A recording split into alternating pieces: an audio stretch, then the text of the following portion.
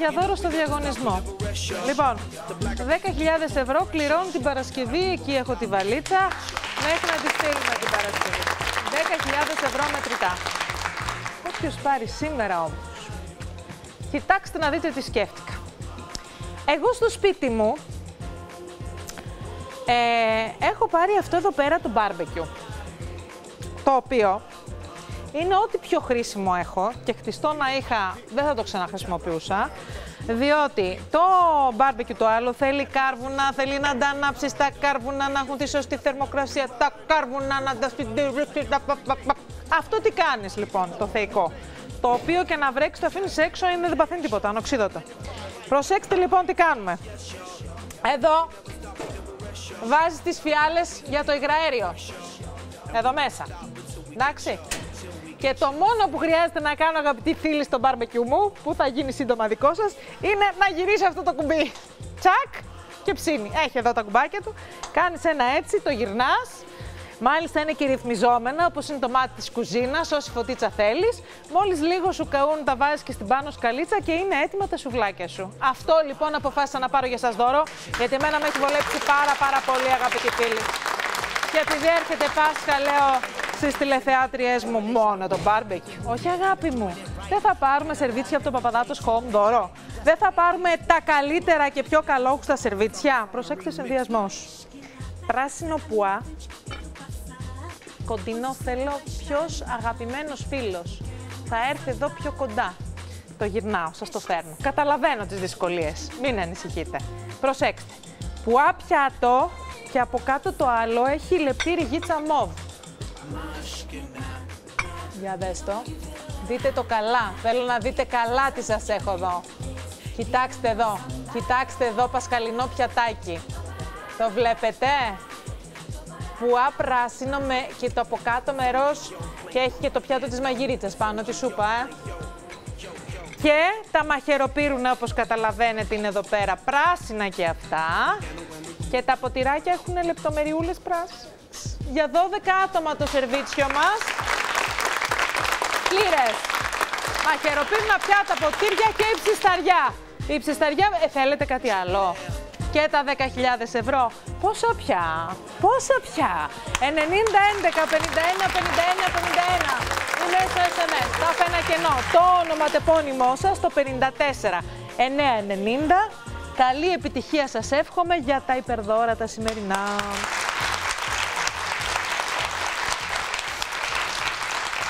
Ο Τρίφωνας ο Σαμαράς πήγε στο Βιετνάμ, αγαπητοί φίλοι. Πήγε Βιετνάμ, Καμπότζη, 12 μέρες. Έχει τράβηξε βίντεο, μπήκε μέσα σε αυτές τις βαρκούλες, τις ξύλινες, δεν ξέρω πώς λέγονται. Δεν πρέπει να λέγονται γόνδολες όπως στην α, όχι στη Ρώμη, στη Βενετία. Δεν ξέρω πώς τις λένε, θα μας πει. Ε, επισκέφτηκε τις πλωτές πολιτείες, επισκέφτηκε τα αξιοθέατα, διότι το Βιετνάμ αρχίζει και γίνεται τουριστικός προορισμός και είναι απλό γιατί εκεί υπάρχει τρομερή φτώχεια, αγαπημένοι φίλοι, 50 ευρώ μισθός το μήνα και πάντα οι μεγάλες δυνάμεις του τουρισμού Όταν μια χώρα έχει φυσικό πλούτο και ομορφιά και πολύ χαμηλά εργατικά, αναπτύσσουν εκεί τον τουρισμό της. Σε λίγο θα έρθει ο Τρίφωνας να μας πει πώς πέρασε εκεί.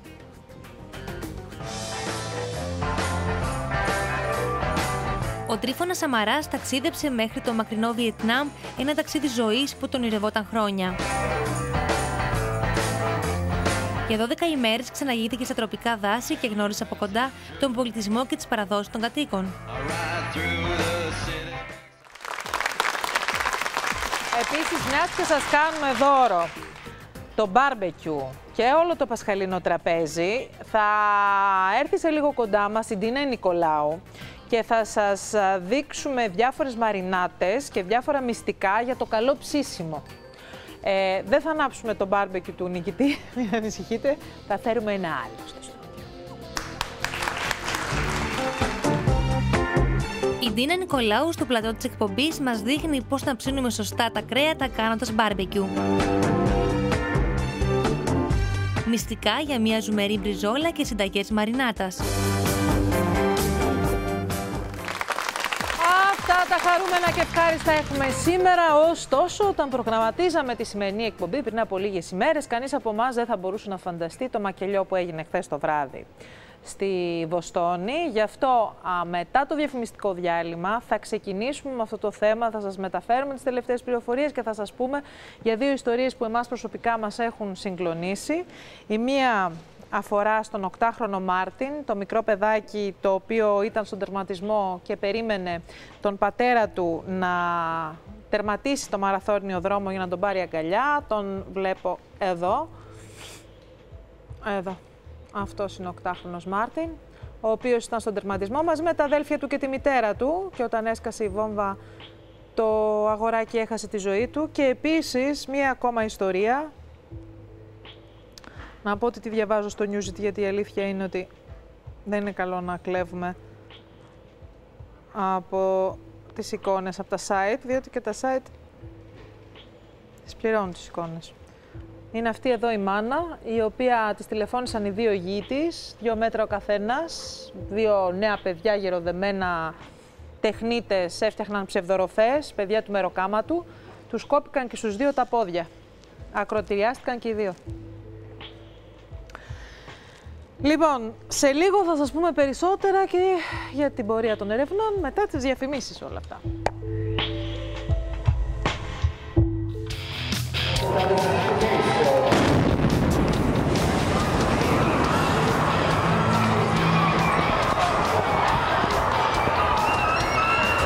Παγκόσμιο σοκ. Μια αθλητική γιορτή που βάφτηκε με αίμα.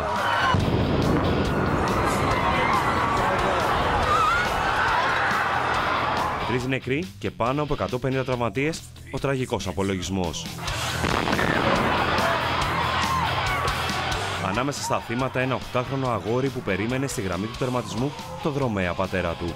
Ένα τουλάχιστον 10 άνθρωποι έχουν ακροτεριαστεί από τη διπλή έκρηξη στη Βοστόνη.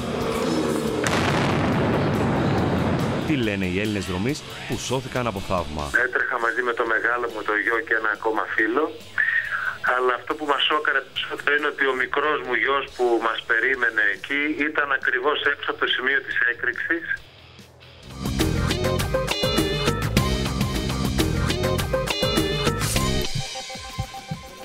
Λοιπόν, αγαπητοί μου φίλοι, πάμε να δούμε το μακελιό που έγινε χθες το βράδυ στον μαραθώνιο της α, Βοστόνης. Ε, ένας μαραθώνιος ο οποίος έχει και έναν πίστευτο συμβολισμό. Ο μαραθώνιος είναι συνδεδεμένος με την ειρήνη. Ε, μάλιστα, ε, ο συγκεκριμένος μαραθώνιος της Βοστόνης ήταν αφιερωμένος σε ένα πολύ πρόσφατο μακελιό, στα θύματα ενός πολύ πρόσφατου μακελιού που έγινε στις ΗΠΑ σε ένα σχολείο από ένα ψυχάκι πάλι, ο οποίος 20 ετών ψυχάκιας είχε πάει και είχε θερήσει ε, τα, τα παιδάκια τα οποία τα πυροβόλησε με όπλο και τις δασκάλες. Ένας μαραθώνιος λοιπόν με έντονο συμβολισμό. Ε, έχει σοκάρει την ανθρωπότητα ε, έχουν σοκάρει την ανθρωπότητα τα όσα συνέβησαν χθες το βράδυ. πάμε να δούμε το βίντεο και σε λίγο θα σας πούμε περισσότερα.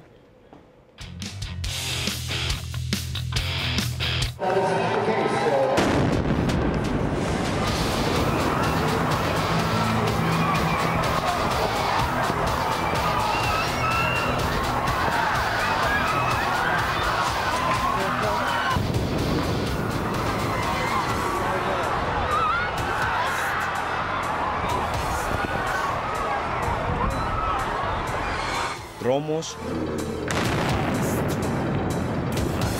πανικός, εικόνες σοκαριστικές. Ένας από τους χειρότερους εφιάλτες των Αμερικανών και όχι μόνο, ζωντάνεψε μέσα σε ελάχιστα δευτερόλεπτα. Μόλις 10.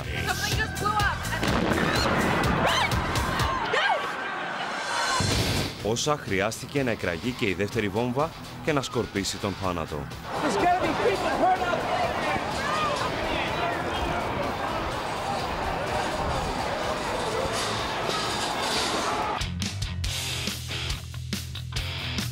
Η Βοστόνη ζει τις τελευταίες ώρες στιγμές της 11 Σεπτεμβρίου, σε μικρότερο μέγεθος, αλλά τα συναισθήματα είναι τα ίδια.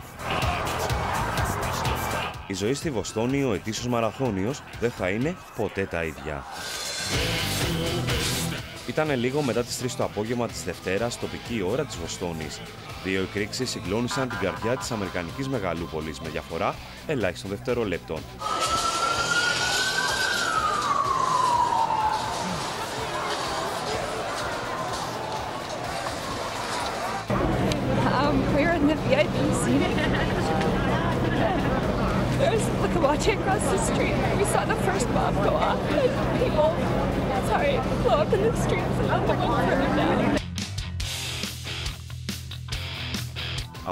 Από τι εκρήξει των βομβών που είχαν τοποθετηθεί σε κάδους σκουπιδιών στο χώρο του τερματισμού, αλλά και σε αυτοσχέδιες κερκίδες που είχαν τοποθετηθεί στο σημείο, τραυματίστηκαν θεατές και αθώες οικογένειες. Μέχρι στιγμής τρία άτομα έχασαν τη ζωή τους, μεταξύ αυτών και ένα 8χρονο αγοράκι. Το άτυχο αγοράκι είχε πάει μαζί με την οικογένειά του για να δει τον πατέρα του που λάμβανε μέρος στο μαραθώνιο. Βρισκόταν στη γραμμή του τερματισμού μαζί με τη μητέρα του και τα αδέλφια του. Όμως η βόμβα του αφαίρεσε τη ζωή. Η μητέρα του Ντενίζ αλλά και η αδελφή του μεταφέρθηκαν στο νοσοκομείο όπου νοσηλεύονται τραυματισμένες. Φίλοι και συγγενείς οικογένειας το βράδυ της Δευτέρας πραγματοποίησαν επιμνημόσυνη δέηση για τον Μάρτιν στο σπίτι του. Σύμφωνα με την τελευταία επίσημη καταμέτρηση, οι τραυματίες έχουν ξεπεράσει τους 150, εκ των οποίων τουλάχιστον 17 είναι σε κρίσιμη κατάσταση. 8 από αυτούς είναι μικρά παιδιά, ενώ σε αρκετές περιπτώσεις πάνω από 10 κρίθηκε αναγκαίος ακόμα και ο ακροτηριασμό τραυματιών. Πολλοί από τους συμμετέχοντες στον αγώνα αλλά και θεατές ξέσπασαν σε κλάματα μόλις αντίκρισαν το χάος. Τραγική ηρωνία, ο ιστορικός μαραθώνιος ξεκίνησε έπειτα από λίγα λεπτά σιγής για τα θύματα του σχολείου του Connecticut, όπου ο Άνταμ Λάτζα εισέβαλε πριν από λίγους μήνες, σκορπώντας το θάνατο σε μικρούς μαθητές και καθηγητές. Get in the stands and there was an explosion and just white smoke all in the air. It was horrible. Εν τω μεταξύ, οι άνδρες αστυνομίας στρέφουν τις ερευνές τους στην κατεύθυνση της τρομοκρατίας, αφού οι πολλαπλοί εκρηκτικοί μηχανισμοί είναι μια πράξη τρομοκρατίας, χωρίς όμως να γνωρίζουν αν πρόκειται για ξένη ή εσωτερική τρομοκρατική ομάδα. Καθησυχαστικός ήταν και ο πρόεδρος των Ηνωμένων Πολιτειών Αμερικής, Μπάρακ Ομπάμα, ο οποίος όμως τόνισε ότι οι δράστες θα βρεθούν και θα τιμωρηθούν. And I've directed the full resources of the federal government to help state and local authorities protect our people, increase security around the United States as necessary, and investigate what happened. The American people will say a prayer for Boston tonight, and Michelle and I send our deepest thoughts and prayers to the families of the victims in the wake of this senseless loss. We will get to the bottom of this, and we will find out who did this, we'll find out why they did this any, respons- uh, any responsible individuals, any responsible groups will feel the full weight of justice. Ήδη ύστερα από εντολή του FBI αναζητούν νεαρό άνδρα με λάμψο, ο οποίος βρισκόταν κοντά στο σημείο των εκρήξεων 5 λεπτά πριν την έκρηξη και φέρεται να επιχείρησε να περάσει σε σημείο που απαγορευόταν η πρόσβαση. Ο ύποπτος είχε μαζί του και δύο σακίδια. Την ίδια ώρα όμως μια φωτογραφία κάνει το γύρο του κόσμου. Στο συγκεκριμένο στιγμιότυπο φαίνεται ένας άνδρας που φοράει καπέλο τύπου τζόκι να περπατά στην ταράτσα ενός κτηρίου λίγα λεπτά μετά τις δίδυμες εκρήξεις.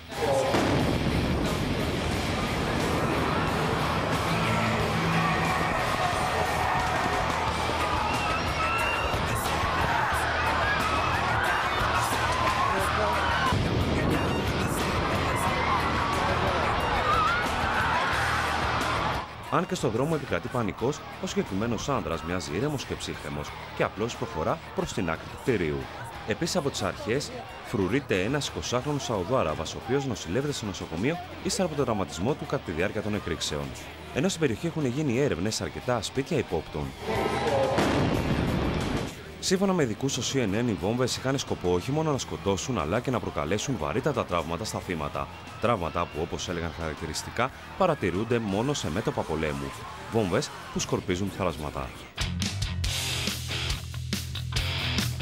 Αμέσως μετά την έκρηξη, οι άνδρες αστυνομίας απέκλεισαν την περιοχή και εξουδετέρωσαν άλλους δύο εκρηκτικούς μηχανισμούς. Αντιλαμβάνεσαι ότι σε αυτές τις περιπτώσεις πάντα υπάρχει πανικός. Η αστυνομία προχώρησε βέβαια πάρα πολύ γρήγορα, διέκοψε αμέσως τη διεξαγωγή του μαραθωνίου. Απομάκρυνε πολύ γρήγορα και τους αθλητές και τους θεατές και αμέσως κινητοποιηθήκαν οι αρχές ασφαλείας, τα στενοφόρα, αυτά που συμβαίνουν σε αυτές τις περιπτώσεις. Το κλίμα ήταν πολύ δυσάρεστο γιατί κανείς δεν περίμενε σε ένα τέτοιο αθλητικό γεγονός, σε ένα τέτοιο γεγονός που στόχο έχει να προβάλλει την ειρήνη, να, συμβεί, να συμβούν εκρήξεις.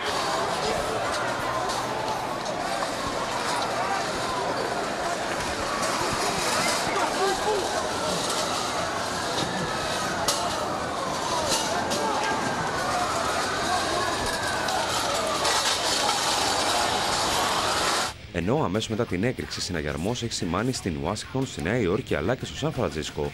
Ο Λευκός Οίκος έχει απομονωθεί, ενώ η ασφάλεια στους πυρηνικούς σταθμούς έχει αυξηθεί και πολλές πόλεις έχουν αυξήσει τα μέτρα ασφαλείας. Ο Διεθνής Μαραθώνιος τη Βοστόνη είναι ένας από τους μεγαλύτερους στη συμμετοχής σε όλο τον κόσμο. Και φέτος συμμετείχε και ελληνική αντιπροσωπεία, αποτελούμενη από 10 άτομα, οι οποίοι ευτυχώς είναι όλοι καλά στην υγεία τους, καθώς είχαν καταφέρει να τερματίσουν μόλις 5 λεπτά πριν από την πρώτη φωνική έκρηξη.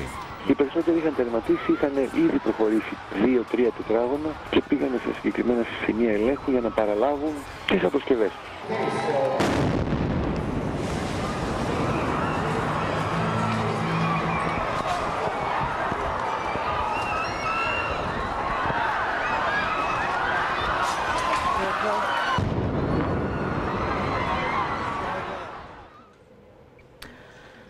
Θα συνδεθούμε τώρα με το start.gr.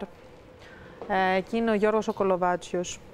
Γιώργο, μετά από ένα πολύ βαρύ χειμώνα που πέρασε η Βοστόνη, οι άνθρωποι χθες με την καλοκαιρία σε μια ημέρα γιορτής, γιατί αυτός ο μαραθώνιος γίνεται στη Βοστόνη και είναι μια μεγάλη γιορτή. Κλείνουν οι δρόμοι, βγαίνουν έξω οι Θέλω να τονίσω, με Τατιάνα, τα παιδιά τους. ότι δεν είναι απλώς μια γιορτή, δεν είναι απλώς ένας μαραθώνιος ειρήνης ή ο συγκεκριμένος έχει κάτι το ιδιαίτερο, παρότι ήταν αφιερωμένος στα θύματα, στα μικρά παιδάκια του σχολείου. Κάθε μαραθώνιος δείχνει την ανθρώπινη υπερπροσπάθεια. Τρέχουν άνθρωποι μικροί, μεγάλοι, κάθε ηλικία, παιδάκια. Τρέχουν άνθρωποι με ειδικές ανάγκες για να τερματίσουν 42 χιλιόμετρα. Και γι' αυτό είναι απορία άξιων. Πραγματικά προκαλεί παγκόσμια αγανάκτηση και σοκ αυτό που συνέβη και δεν υπάρχουν λέξεις να το περιγράψεις. Ποιος ανθρώπινος νους μπορεί να σκέφτηκε αυτό το πράγμα. Και είμαι ιδιαίτερα, ξέρεις, συγχυσμένος, διότι πριν από μια εβδομάδα ήμουν στο Παρίσι, πήγα να δω ένα φίλο μου έτρεξε στο μαραθώνιο. Συγκεκριμένα πριν δύο Σαββατοκύριακα. Και ήμουν ακριβώς σε αυτό το σημείο, όπου έβλεπες ανθρώπους από όλο τον κόσμο, για να καταλάβουν οι τηλεθεατές μας, δεν είναι άνθρωποι Αμερικάνοι εκεί, οι Βοστονέζοι, οι οποίοι πάνε και τρέχουν. Είναι 50-60 χιλιάδες άνθρωποι από όλο τον κόσμο. Και Έλληνες ακούσαμε, από όποια χώρα μπορείς να φανταστείς. Έτσι και εγώ λοιπόν με φίλους μας, του Γιάννη του Σταύρου που έτρεχε το μαραθώνιο, πήγαμε λίγο στο Παρίσι να τον δούμε.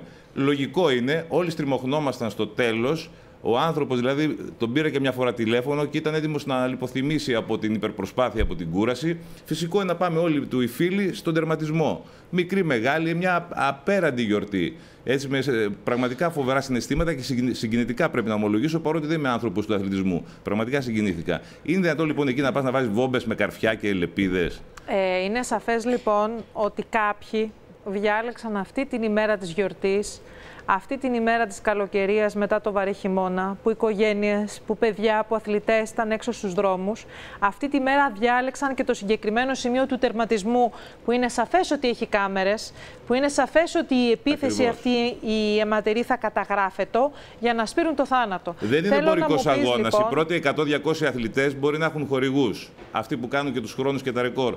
Οι υπόλοιποι 50.000, επαναλαμβάνω, είναι απλοί άνθρωποι καθημερινοί γύρω μα που τρέχουν για να αποδείξουν πόσο μπορεί ο άνθρωπος, τι, τι σπουδαία πράγματα μπορεί να κάνει και να μεταδώσουν το μήνυμα της αγάπης, της ειρήνης και της αντοχής, τη Θέλω λοιπόν να μου πεις. Είναι δυνατόν το 8χρονο παιδάκι αυτός ο Μάρτιν Έτσι. τώρα να πηγαίνει τον μπαμπά του, φαντάσου με χαμόγελο τώρα στην άκρη στα κάγκελα. Για, για να σου δώσω ένα να καταλάβεις, για να μπορέσει το παιδάκι να φτάσει εκεί με τη μαμά του και την αδερφή του, έκαναν σίγουρα πάνω από 2-3 ώρες. Είναι τόσο μεγάλο το πλήθος του κόσμου και ήταν τόσο μεγάλη ανάγκη του να δει τον μπαμπά του να τρέχει. Να τερματίζει μετά από 42 χιλιόμετρα. Λοιπόν, το παιδάκι νεκρό, η μαμά του τώρα τελευταία εξέλιξη χαροπαλεύει, μάλλον δεν την γλιτώνει και η, η αδερφή του, το κοριτσάκι πάλι, δεν- νομίζω είναι ηλικίας 15 ετών, έχασε το ένα του πόδι. Πω, πω. Πω, πω. Λοιπόν. Φαντάσου και αυτό τον πατέρα τώρα, ο οποίος έτρεχε στο μαραθώνιο. Φαντάσου δεν έχει κάνει δήλωση πουθενά ο άνθρωπος, δεν έχει βγει σε κανένα από τα ξένα μέσα ενημέρωσης. Φαντάζομαι συντετριμένος έτσι. Δηλαδή δεν μπορεί να φανταστεί ότι μια γιορτή τρέχοντας μαζί και πήρε την οικογένειά του να πάει να μεταδώσει αυτά τα φοβερά θετικά συναισθήματα στην οικογένειά του, στον εαυτό του και σε όλο τον κόσμο, κατέληξε σε ένα, σε μια, σε ένα σφαγείο πραγματικό για την οικογένειά του. Δηλαδή η επόμενη μέρα, η επόμενη ώρα τον έχει κάνει έναν άλλο άνθρωπο, μια άλλη οικογένεια, έτσι, χωρίς τον 8χρονο αυτή τη φατσούλα τώρα εκεί που βλέπετε, και φυσικά και το κοριτσάκι που είχε στο πόδι του. Ε, πάμε να δούμε και του, του- την άλλη ιστορία των δύο, των δύο ανδρών. Είναι που- δύο, είναι δύο, νεαροί. Ο ένας αδελφών. είναι οικοδόμος μάλιστα ο άνθρωπος, για να καταλάβετε τώρα έτσι, γιατί εδώ δεν υπάρχουν ούτε τάξεις, ούτε εμπορικοποίηση, ούτε τίποτα. Ήταν ένας οικοδόμος λοιπόν ο άνθρωπος και έτσι ε, και έτρεχε και πήγαν δύο φίλοι του να παρακολουθήσουν την, ε, την, την προσπάθειά του. Και η, ξαφνικά γίνεται αυτό που γίνεται με τις δύο αλλεπάλληλες εκρήξεις. Τα δύο αδέρφια, 33 χρονών νομίζω και 28 ο άλλος, ο ένας δίπλα από τον άλλον. Η μητέρα του ανέμελη ψώνιζε σε ένα σούπερ μάρκετ. Θα σα πω όλη την ιστορία ακριβώς πώς έγινε. Ξαφνικά χτυπάει το κινητό της και είναι ο ένας από τους δύο γιους. Το μετέφερε εκείνη την ώρα το ασθενοφόρο στο νοσοκομείο με φοβερά τραύματα, έχοντας χάσει το ένα του πόδι. Αν δείτε τις φωτογραφίες στα Τιάννα, θα βάλεις τα κλάματα. Δεν ξέρω αν είναι και συγκεκριμένο του ανθρώπου, αλλά έχουν χάσει πάρα πολύ τα άκρα τους. Υπάρχουν ε, φωτογραφίες, ε, επιλέξαμε να μην τις προβάλλουμε γιατί Όχι, δεν είναι... πρέπει να τα βλέπει ο κόσμος αυτά, δηλαδή είναι Όχι, πραγματικά υπάρχουν σημαντικό. πολλές τέτοιες φωτογραφίες. Κάποιοι αποφάσισαν να τις δημοσιεύσουν, επιλέξαμε να μην τις προβάλλουμε γιατί είναι Καλά κάνετε. ατριχιαστικές. Ε, τι- χτυπάει το κινητό της λοιπόν, της λένε Μαμά τι της είναι ο λέει: γιος Εγώ της. είμαι, δεν ξέρω αν έμαθες ότι έγινε έκρηξη. Ε, δεν είμαι καλά, ε, υποφέρω και πονάω και κάτι συμβαίνει με το πόδι μου. Φαντάσου ο άνθρωπος ακόμη δεν είχε συνειδητοποιήσει τι γινόταν. Λοιπόν, δεν μπορώ, δεν ξέρω όμως, λέει και αυτή ήταν η ησυχία του. Φαντάσου, εκτός ο πόνος ο δικός του και τι γινόταν με τα άκρα του, δεν μπορώ να, δω τον, ε, να βρω τον αδερφό μου, να δω τι γίνεται. Ε, φαντάσου στο χάος εκεί, ο ένας δίπλα από τον άλλον, χάθηκαν όλοι. Δυστυχώς και το άλλο παιδί, ο αδερφός του, και αυτός μετά από μια ώρα, δύο ώρα τηλεφωνήμα της μητέρας με πολύ μεγάλη προσπάθεια, μάλλον όχι τηλεφωνήματα, γιατί διακόψαν και για το φόβο μην πυροδοτήσει κάποιος Τατιάνα τη, μια τρίτη ή τέταρτη βόμβα μέσω κινητού τηλεφώνου, ε, έκοψαν και την κινητή τηλεφωνία. Άρχισε να γυρνάει η μάνα τα νοσοκομεία και ό, με όποιο τρόπο τέλος πάντων μπορούσε μέσω της αστυνομίας. Τελικά και το δεύτερο παιδί με κομμένο πόδι, δυστυχώς. Άστε. Οι ιστορίες είναι φοβερές και έρχονται, θα έρχονται τώρα η μία μετά την άλλη. Αν δείτε στα πλάνα της έκρηξης, ένας αθλητής που πέφτει. Αν δείτε εδώ, θα δούμε το πλάνο τώρα της έκρηξης. Είναι ένας αθλητής και είναι. Α, α, α, αν, υ- αν είναι εφικτό. Ε, Συγκινητική να ιστορία. Να, δούμε το βλέπετε πίσω σε έχει πέσει. αργή κίνηση, ναι. Το βλέπετε. Εδώ. Είναι ένας κύριος 78 ετών. Αχ, μωρέ. Λοιπόν, και τον, ε, άκουγα τώρα σε μια συνέντευξη στο CNN, έλεγε ο άνθρωπος ο καημένος, δεν, δεν, τρα- δεν τραυματίστηκε τα Τιάνα, λύγησαν τα πόδια του από το συνδικό κύμα. Α, και λέει, είμαι 78 χρονών, είναι δυνατόν λέει, να τερματίζω και να βλέπω λέει, στο τερματισμό, αντί να πεθάνω, λέει, από ευχαρίστηση, να αντικρίζω τέτοια πράγματα, βόμβες σε μια τόσο μεγάλη γιορτή. Μάλιστα. Λοιπόν, να πούμε ότι οι τραυματίες, είπες, είναι γύρω στους 150. Άρα μιλάμε για τρεις νεκρούς. Ε, δεν Δυστυχώς ξέρουμε... Είναι δε- 10 με 12 άτομα τώρα πριν από 20 λεπτά που μπήκα στο στούντιο έμαθα είναι σε πολύ σοβαρή κατάσταση και άλλοι 14-15 είναι Δεν ξέρουμε πόσοι από ακροτηριασμένοι. αυτούς θα καταφέρουν να επιβιώσουν και οι υπόλοιποι έχουν μείνει, κάποιοι από αυτούς έχουν μείνει μισοί άνθρωποι. Ε, Γιώργο, να σε ευχαριστήσουμε πάρα πολύ, εσένα όπως και το star.gr για την ενημέρωση. Α, και θα ήθελα να δούμε τι έγινε με τους, ε, με τους Έλληνες. Ε, Όλοι οι Έλληνες ε, μαραθωνοδρόμοι της Βοηστόνης είναι καλά. Ε, υπήρξε μια πολύ μεγάλη ανησυχία. Υπάρχουν στη Βοηστόνη ε, και Έλληνες φοιτητές. Ε, είναι και η ελληνική εκεί παροικία μεγάλη. Πάμε να δούμε το βίντεο για τους ε, Έλληνες.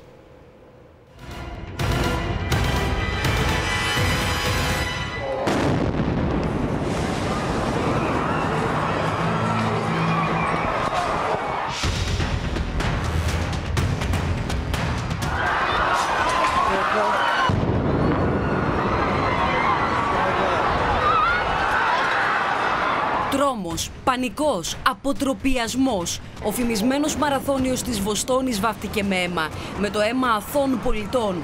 Τρεις νεκροί και περισσότεροι από 150 τραυματίες είναι ο μέχρι τώρα θλιβερός απολογισμός. Οι εικόνες σοκάρουν. Γυναίκες, άντρες και παιδιά τρέχουν για να σωθούν. Ανάμεσά τους είναι και Έλληνες που ταξίδεψαν στη Βοστόνη για να τρέξουν στον μαραθώνιο. Συγκλονίζει η μαρτυρία του Δημήτρη Ανδριόπουλου, ο οποίος έζησε το μακελιό μαζί με τους δυο γιους του. Εγώ προσωπικά πέρασα 9 λεπτά πριν την έκρηξη από το σημείο τερματισμού και έτρεχα μαζί με το μεγάλο μου το γιο και ένα ακόμα φίλο. Αλλά αυτό που μας σώκαρε περισσότερο είναι ότι ο μικρός μου γιος που μας περίμενε εκεί ήταν ακριβώς έξω από το σημείο της έκρηξης και έφυγε όταν μας είδε και περάσαμε για να μας συναντήσει. Οπότε όπως καταλαβαίνετε τη γλιτώσαμε όλοι πολύ φτηνά. Δηλαδή είδαμε το χάρο που λέει σε λίγη απόσταση.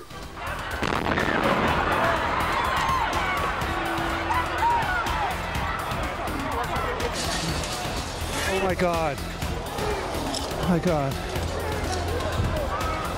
Oh my God. Ακούσαμε όμως τις δύο εκρήξεις οι οποίες ήταν πολύ δυνατές και σκύψαμε ενστικτοδός και αναρωτηθήκαμε τι έγινε και μετά ακούγαμε σιρήνες συνέχεια Φτάσαμε με ασφάλεια στο ξενοδοχείο μας. Η χαρά μετατράπηκε σε φρίκι, φόβο, θυμό και απόγνωση. Οι Έλληνες αθλητές σώθηκαν από θαύμα. Λίγα λεπτά αφού τερμάτισαν, έγιναν οι εκρήξεις που σκόρπισαν το θάνατο. Οι Έλληνες μαραθωνοδρόμοι περιγράφουν τις δραματικές στιγμές στη Βοστόνη στην εκπομπή Ανατροπή και τον Γιάννη Πρετεντέρη. Είχα περάσει τον τερματισμό και τα μετάλλια και ήμουνα γύρω στα 200 μέτρα 150-200 μέτρα μετά τη γραμμή του τερματισμού και περίμενα τους υπόλοιπους, κάποιους από τους υπόλοιπους ε, Έλληνες να έρθουν να βρεθούμε και να φύγουμε. Ε, εκείνη τη στιγμή λοιπόν που περίμενα και έλεγα μήπως να πάω προς τη γραμμή του τερματισμού να τους συναντήσω την ώρα που περνάνε, έγινε, έγιναν οι δύο ε, έτσι, επανωτές εκρήξεις. Are you okay? Where's your wife?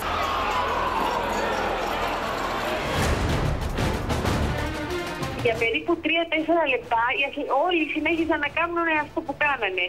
Και ξαφνικά είδαμε από τη γραμμή του τερματισμού με μια φοβερή μάζα ανθρώπων να έρχεται τρέχοντας κατά πάνω μας και όλοι οι εθελοντές οι οποίοι ήταν εκεί, οι οποίοι ήταν αρκετοί, μας φώναζαν τρέξτε, τρέξτε και πηγαίνετε να καλυφθείτε γιατί υπάρχει βόμβα. Γύρω τους εικόνες καταστροφής.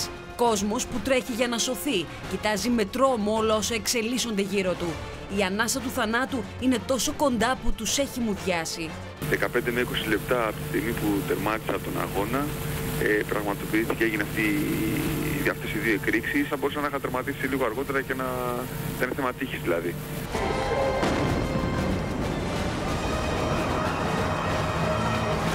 Guys, guys, guys, no way, no way, go back, no way.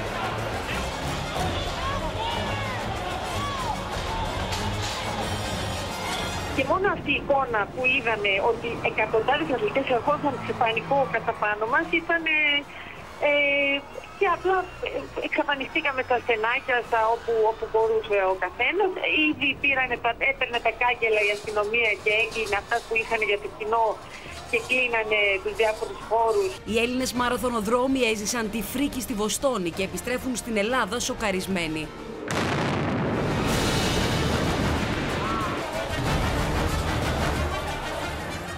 Μάλιστα. Λοιπόν, θα αλλάξουμε τελείως κλίμα. Μία, μία είδηση θα σας πω μόνο ακόμα, η οποία είναι σοκαριστική και δυσάρεστη και θα αλλάξουμε, θα πάμε στα πιο έτσι ευχάριστα. Έχει γίνει σεισμός στο Ιράν, 7,8 ρίχτερ, 7,8 ρίχτερ. Και υπάρχουν φόβοι για εκατοντάδες νεκρούς.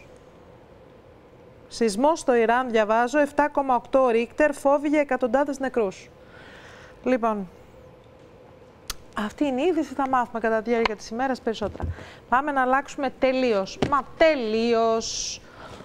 Αχ, κλίμα. Έρχεται και Πάσχα.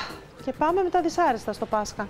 Λοιπόν, σε λίγο θα έρθει ο Τρίφωνας Σαμαράς, ο οποίος επέστρεψε από το Βιετνάμ και από την Καμπότζη και έχει νέα να μας πει. Έχει φέρει και αυτά που ψώνισε εκεί και τις φωτογραφίες του και να μας πει τα νέα του και τα πλάνα του και τα αυτά. Και ντυμένος είναι με τα παραδοσιακά ρούχα εκεί των Βε- των Βιετναμέζων. Σε λίγο θα έρθει κοντά μας. Συνεχίζει το διαγωνισμός για τα 10.000 ευρώ μετρητά, αγαπητοί φίλοι, ε, τα οποία είναι εκεί στον καναπέ και την Παρασκευή θα σας τα παραδώσω. 10.000 ευρώ μετρητά. Εσύ που θα πάρεις για τα 10.000 ευρώ, διεκδικείς τι; Την Άρτα και τα Γιάννενα. Έχω να σου πω αγαπημένη μου έκφραση γιατί δίνω πολλά δώρα φέτος. Αυτό εδώ το barbecue το επέλεξα εγώ προσωπικά. Και το επέλεξα εγώ προσωπικά γιατί το έχω στο σπίτι μου, θέλω να σας πω, και με βολεύει 100 φορές περισσότερο από οποιοδήποτε barbecue μπορεί κανείς να ονειρευτεί, πέτρινο, χτιστό κλπ. Γιατί, διότι τα άλλα θέλουν κάρβουνα. Άντε πάρ τα κάρβουνα, άντε αναψέτα, άντε βάλτε στη σωστή θερμοκρασία και μόνο οι άντρες τα ξέρουν αυτά. Άντε αυτό, άντε να μείνει φωτιά, άντε συντήρησέ τα και δεν μπορώ. Εδώ ξέρετε τι κάνω; Ανοίγω το barbecue, Πατάω εδώ αυτό το κουμπάκι. Εδώ μέσα έχει φιάλη υγραερίου. Αν είναι και πολύ μεγάλη η φιάλη, επειδή η δικιά μου είναι μεγάλη, την έχω βγάλει από πίσω, αν δεν σας χωράει. Λοιπόν, προσέξτε τώρα. Το μόνο που κάνετε σε αυτό το barbecue είναι να γυρίσετε αυτό το κουμπάκι, αγαπητοί φίλοι. Ανάβει η φωτιά σας. Ψήνετε εδώ τα κρεατικά σας, τα σουβλάκια σας, τα αυτά. Εγώ θα σας δείξω μετά με την Τίνα ένα ωραίο κοτοπουλάκι μαριναρισμένο που γίνεται λουκούμι και το λατρεύω. Και κάτι μπριζολίτσες, τα ψήνετε και είστε έτοιμοι το γάτε του ζημιά. Ούτε να πε- καθαρίζετε, ούτε να πετάτε κάρβουνα, ούτε να αυτό, ούτε να σβήσει φωτιά. Παίρνετε τη σχαρίτσα σας, την πλένετε, άντε γεια. Αυτό το θεϊκό barbecue λοιπόν σήμερα το κληρώνουμε, σήμερα και λέω γιατί να δώσω μόνο το barbecue αφού έχετε Πάσχα; Να μην δώσω εγώ το κάτι της μου εδώ, το σερβίτσιο το υπέροχο από το Παπαδάτος Home. Να μην δώσω εγώ το πράσινο το πιάτο μου εδώ με τα πράσινα πουά και το πιάτο με, το, με τη ριγέ εδώ, τη μόβ τη ρίγα. Μπορούμε να τα δείξουμε για να πώς να τα γυρίσω να φανούν. Έτσι, έτσι να τα σηκώσω. Έτσι, ωραία. Λοιπόν, προσέξτε τώρα. Το πιάτο της σούπας που θα βάλετε τη μαγειρίτσα σας έχει χαριτωμένα πράσινα πουά για να ταιριάζουν με τα μαχαιροπύρουνα. Είναι σερβίτσιο των 12 ατόμων για να κάνετε το τραπέζι σας το βράδυ όλη η οικογένεια ή και οι φίλοι. Λοιπόν, και από κάτω το κυρίως έχει το πιάτο για το πρώτο πιάτο ή τη σαλάτα ή ό,τι θέλετε. Αυτό εδώ, το οποίο έχει αυτή τη ψηλή ψηλή ριγίτσα τη μοβ και το κυρίως πιάτο σεταρισμένα εδώ και προσέξτε τα ποτηράκια σας του κρασιού και του νερού με αυτήν εδώ τη λεπτομέρεια την πράσινη γιατί το Πάσχα θέλει χρώμα, το Πάσχα είναι γιορτή. Έτσι. Και τα μαχαιροπύρουνα για 12 άτομα και το barbecue. Θέλετε κάτι άλλο, θα μπορούσα να δώσω κάτι άλλο; Όχι. 90, 11, 51, 51, 51. 90, 11, 51, 51, 51. Ή μέσω SMS. Τάφε ένα κενό. Το όνομα τεπώνυμό σας στο 54990. Τα σούπερ δώρα μας μαζί με 10.000 ευρώ μετρητά. Θέλω να σας ρωτήσω τώρα αν είμαστε έτοιμοι για άφηξη τρίφωνα πριν τις διαφημίσεις. Θέλω να μπει μέσα με τη στολή από το Βιετνάμ, καπέλο, παπούτσι από κάτω κλπ. Από εδώ είσοδο θα κάνετε ή θέλεις να κατεβείς τη σκάλα; Λοιπόν, ε, εγώ τον βλέπω, δεν θα σας τον δείξω ακόμα, γιατί θα τον κατεβάσω τη σκάλα ανάμεσα στα φυτά, με το καπέλο, το βιετναμέζικο και την ε, σαγιονάρα. Σε λίγο θα τον δείτε. Διαφημίσεις.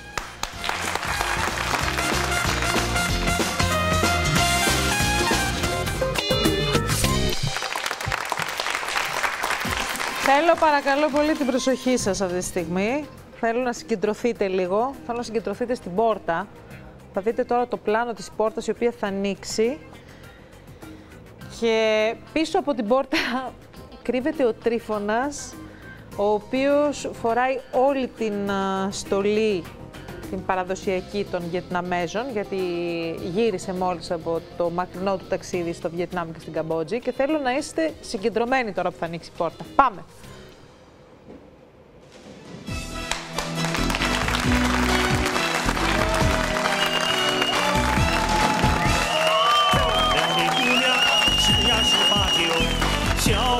儿时荡呀荡出头，如今似一好年华呀，正赶上创业的好时候。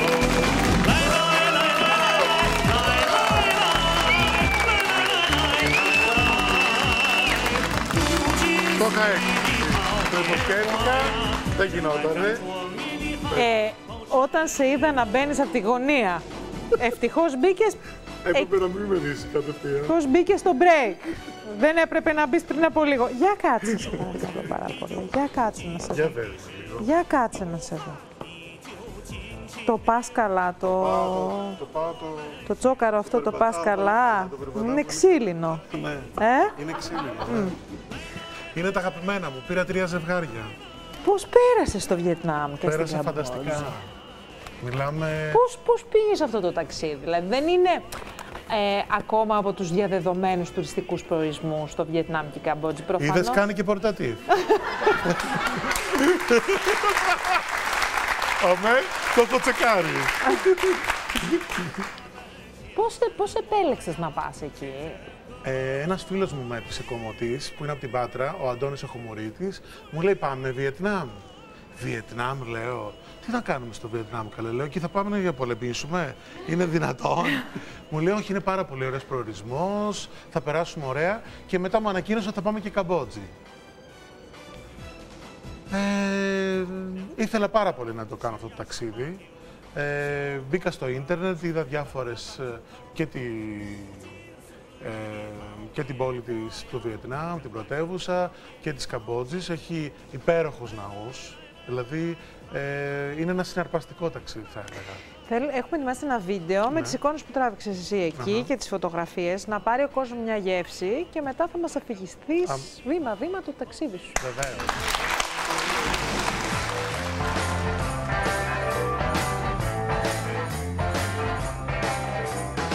Έχει αδυναμία στα ταξίδια και έχει επισκεφτεί πολλούς και μακρινούς προορισμούς. Ο αγαπημένος κομμωτή των Σταρ, Τρίφωνα Σαμαράς, βρήκε λίγο χρόνο και ταξίδεψε μέχρι το μακρινό Βιετνάμ και την Καμπότζη για 12 ημέρες. Μετά από 11 ολόκληρες ώρες πτήσης, έφτασε μαζί με έναν φίλο του σε έναν προορισμό που, όπως λέει ο ίδιος, ήταν όνειρο ζωής.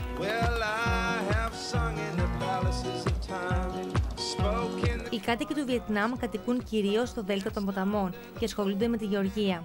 Οι συνθήκες διαβίωσής τους είναι φτωχικές και ο μηνιαίος μισθός τους δεν ξεπερνάει τα 50 ευρώ.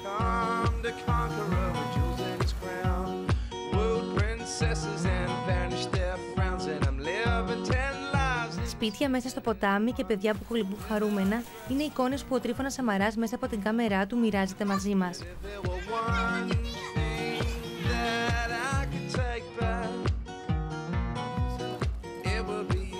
Τα παιδιά εκεί δουλεύουν από μικρή ηλικία. Φτιάχνουν χαλιά και τοπικά παραδοσιακά προϊόντα της χώρας τους, ώστε να τα πουλήσουν στους τουρίστες για λίγα χρήματα. Οι δρόμοι έχουν πολλή κίνηση και οι κάτοικοι κυκλοφορούν με ποδήλατα, αφού το αυτοκίνητο θεωρείται μέσο πολυτελείας.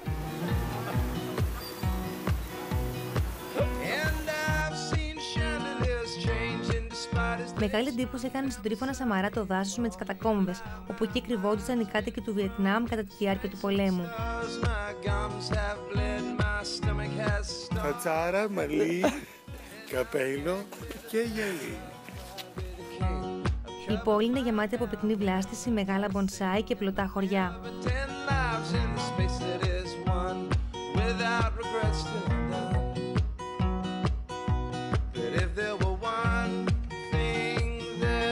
Σε μια νυχτερινή του εξόρμηση σε ένα μπάρ στο κέντρο της Καμπότζη, με έκπληξη είδε ότι οι ντόπιοι χορεύουν στους ρυθμούς της Έλληνας Παπαρίζου.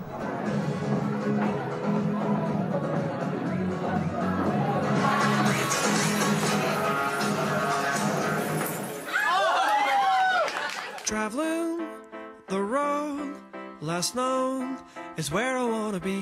My compass directing Η να είναι εντυπωσιακή. An open road with golden trees. But there's an old man in need on the ground. I try not to make a sound. He holds out his hand as I walk away. Μεγάλο ενδιαφέρον παρουσιάζουν τα πλάνα από τα μαγαζιά με την παραδοσιακή μουσική και το κουκλοθέατρο.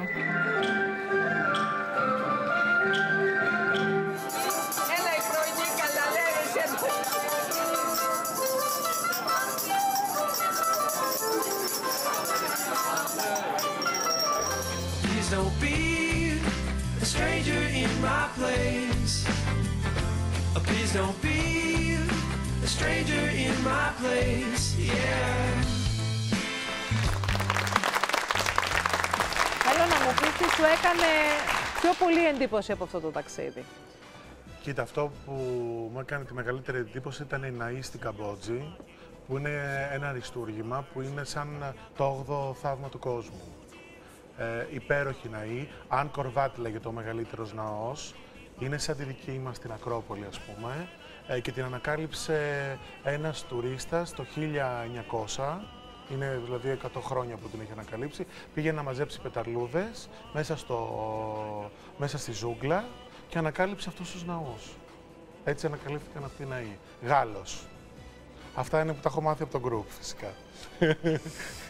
Τι, οι βουδιστές είναι, βουδιστές είναι Ναι, οι Βιετναμέζοι; Ναι, ναι, ναι. Είναι Βιετνάμ και Καμπότζη. Ε, ήταν πραγματικά δύσκολο ταξίδι γιατί μέσα σε 12 μέρες έπρεπε να πάμε σε τρεις ε, πόλεις, δηλαδή Σαϊγκόν, ε, ε, Καμπότζη, ε, εκεί που είναι το, η ναή, το Αν Κορβάτ και η υπόλοιπη ναή και να πάμε και... Πού αλλού πήγαμε. Δεν πειράζει, είναι και Ναι. περίεργα τα ονόματα και των Ναι, πόλεων. λίγο, ναι. Δεν μου λες Τριφωνάκο μου, ποια είναι η αίσθηση από τον τόπο, δηλαδή η, η μυρωδιά, η, η καθημερινότητα των ανθρώπων; Κοίτα. Είναι πάρα πολύ φτωχοί οι άνθρωποι στο Σίγουρα Βιετνάμ, και- είναι 50 ευρώ το μήνα ο μισθός τους. Μπράβο, 50 με 100 ευρώ ανάλογα τη δουλειά που κάνεις. Να πούμε ότι είναι ε, τεράστια πόλη, είναι 90 εκατομμύρια η, το Βιετνάμ και μόνο η Σαϊγκόν έχει 10 εκατομμύρια κατοίκους. Δηλαδή όλη η Ελλάδα είναι η Σαϊγκόν. Γι' αυτό είναι και η- υπάρχει υπερπληθυσμός. Έχουν, έχουν τουριστική υποδομή, δηλαδή, Έχουν μετά γιατί το- ένας τουρίστας... τα δεν- 10 τελευταία χρόνια έχει γίνει ε, Έχουν ανάπτυξη. μεγάλα ξενοδοχεία. Έχουν τεράστια ξενοδοχεία. Σε πεντάστερα ξενοδοχεία μέναμε. Εγώ είχα πάει με το group ε, Μαρία από την Πάτρα που γνώρισα πολλές κυρίες εκεί.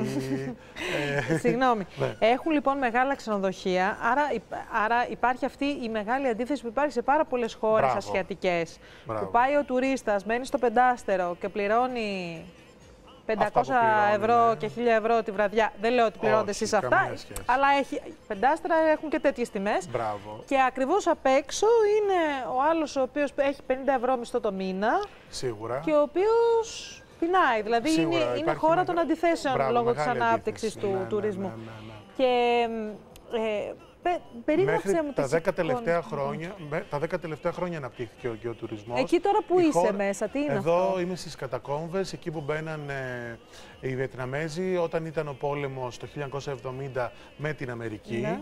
Και εκεί κάνανε τρύπες κάτω στο έδαφος και μπαίνανε και ζούσανε κάτω από το έδαφος. Δηλαδή με, μεγάλο, Αυτό είναι έχουν κάποιος τραβήξει ναός, ε; Μεγάλα δράματα. Εδώ είναι πλωτά Αυτό είναι ε, με τα σπίτια, χωριά. Πλωτά χωριά, μπράβο, που αρκετοί άνθρωποι μένουν σε αυτά τα χωριά, μέσα στη, θάλα, μέσα στη θάλασσα. Ο καιρός πώς ήταν, τι Ο καιρός; καιρός ήταν πολύ υγρασία. Στο Βιετνάμ ήταν λίγο, ε, ήταν ζεστός. Ε, μετά στη δεύτερη πόλη ήταν πιο κρύος και στη Καμπότζη ήταν πολύ ζεστός, αλλά με υγρασία λίγο. Εδώ βλέπουμε το κουκλοθέατρο που θα δούμε ότι Δηλαδή είναι... έχει αυτό τον καιρό το... των Ναι. ασιατικών χωρών που Μπράβο. το βράδυ Σαν Μπαλί, σαν, που ε, στην ουσία σαν τη, νύ- Μπαγκόγκ. τη νύχτα δεν, α, δεν, έχεις πόρ- δεν έχουν πόρτες και παράθυρα τα, σπίτ, τα σπίτια, δηλαδή δεν κλείνουν. Που κοιμάσαι και είναι ανοιχτά και το χειμώνα. Κοίτα, Κάπως έτσι, δεν μες έχουν στην πο- χειμώνα. μες στην πόλη, όχι, είναι μια πολύ πυκνοκατοικημένη πόλη. Σαν την Μπαγκόγκ, ας πούμε. Δηλαδή, ε, υπάρχουν χιλιάδες μηχανάκια. Δεν μπορείς να το φανταστείς αυτό το πράγμα. Ναι. Μηχανάκια, μηχανάκια να δουν τα μάτια σου. Αλήθεια λέω. Και ποδήλατα φαντάζομαι πολλά. Πιο πολύ μηχανάκια. Μηχανάκια πιο πολλά. Μηχανάκια, χιλιάδες μηχανάκια. Αφού δε- και, ε, δεν σε σκοτώνουν και όλα στον δρόμο. Ε, Δηλαδή μπαίνεις μέσα, λέει, μας λέγανε εκεί στο group, μπέστε, περάστε και δεν θα υπάρξει πρόβλημα. Ναι.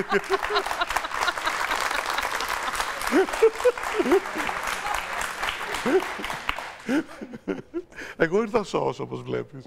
Ε, Τι άλλο είδες εκεί που σου έκανε εντύπωση; τι άλλο μου έκανε εντύπωση; Ε, είπαμε ότι το βι... η... Όχι η Καμπότζη. Έλα να δούμε τις εικόνες για να θυμηθείς. Μπράβο, ναι. Λοιπόν, ε, πήγες κάτι να μου πεις για το κουκλοθέατρο. Το το κουκλοθέατρο πλωτό... ήταν μέσα στο νερό. Δηλαδή, Όπως βρέχουμε εδώ το δικό μας κουκλοθέατρο, αλλά αυτοί το κάνανε μέσα στο νερό. Πίσω δηλαδή από τη σκηνή ήταν όλοι μέσα στο νερό. Μόλις τελείωσε και η παράσταση. Αυτό εδώ είναι το μπράβο, κουκλοθέατρο. Αυτό είναι, το νε- είναι νερό. Και οι άλλοι πίσω από τη σκηνή ήταν οι... αυτοί που παίζανε με τις κούκλες, ας πούμε, και ήταν μέσα στο νερό. Αυτό είναι παράδοση χρόνων. Ε, Πρέπει Αυτά. να ήταν μαγευτικό. ήταν αυτό. πάρα πολύ ωραίο. Άρα κρατάνε... αυτή η κούκλα- Πώς είναι, και αυτή- κρατάγανε δηλαδή τις κούκλες στην ουσία με ξύλα κάτω από το νερό που δεν φαινόντουσαν; Ήταν αυτή από τη μέση και κάτω στο Μμμ. νερό. Αυτή ήταν η κούκλα. Κούκλα του κουκλοθέατρου κουκλοθέατρο, είναι ναι. αυτή; Και την πήρα από εκεί, ναι. Μάλιστα. Έχει πολλά πράγματα να πάρεις. Αυτό εδώ το πήρα το, Σανταλί. το πέδιλο, Ναι. από εκεί που, γυρω- που ήταν οι κατακόμβες Ναι. και το βλέπουμε ότι είναι από λάστιχο. Από λάστιχο αυτοκινήτου. Για να το δω. Α, α, παίρνανε, α, παίρναν τα λάστιχα των Ναι. αυτοκινήτων Δηλαδή- και φτιάχνανε παπούτσια. Μπράβο. Ω, μωρέ, δηλαδή καημένοι. οι άνθρωποι έχουν κάνει πολλά πράγματα εκεί για να επιβιώσουν, ας πούμε, μέσα στη φτώχεια. Και τα πουλάνε αυτά ως ναι, ε, ένα ευρώ. Αναμνηστικά. Ένα ευρώ. Αυτό. Μάλιστα. Τι άλλο Ε, πήρες; πήρα μεταξωτά σεντόνια. Εδώ. Έχει πολύ μετάξι. Ναι, έχει πολύ Εκεί. μετάξι. Ε, για περάστε. Εδώ, για περάστε. για περα... Πήρα μεταξωτά σεντόνια. Πολύ ωραία. Σε πολύ καλές τιμές. Ε, πήρα πασχαλινά αυγά. Και να πω ότι είναι ξύλινα για, για κοσμητικά. Να πω επίσης ότι σε μια επίσκεψή μου σε ένα ναό, ένας αστυνόμος μου πρότεινε να αγοράσω το σήμα του, ε, 15 δολάρια. Λέω φέρτο, είναι το σήμα των αστυνόμων εκεί. Το αληθινό. Φαντάσου τώρα όμως έτσι. Φαντάσου πείνα και φτώχεια Μπράβο, τώρα. μου λέγανε, θες το καπέλο μου 5 δολάρια. Ας το καλά. Θες, ε, Φαντάσου δηλαδή, πείνα και φτώχεια που έβγαλε ο αστυνομικός το σήμα του και το πούλησε για 15 δολάρια. Για 15, για δεκ- όχι, 5 δολάρια, συγγνώμη. 5 Για δολάρια. 5 δολάρια, ναι. Αυτό να είναι πεις. το σήμα. Εγώ το χειρότερο το οποίο εντάξει, δεν μπορώ να αντέξω αυτές τις περιοχές είναι η εκμετάλλευση των παιδιών. Επειδή οι οικογένειες πεινάνε, τα παιδιά εργάζονται από πάρα πολύ μικρή Ναι. ηλικία. Εργάζονται, εσύ πήγες βέβαια στην πόλη. Στην επαρχία η φτώχεια είναι ακόμη Ακόμα μεγαλύτερη. πιο πολύ, εργάζονται στα χωράφια από τα μαύρα τα χαράματα και βλέπω και εδώ παιδάκια, είδες και εσύ παιδάκια να εργάζονται. Βράζουν πάρα πολλά παιδάκια. Εκεί που επισκεφτόμασταν τους ναούς μας, ερχόντουσαν, μας πουλούσαν ε, κάρτες με ένα δολάριο, ας πούμε. Σας παρακαλώ.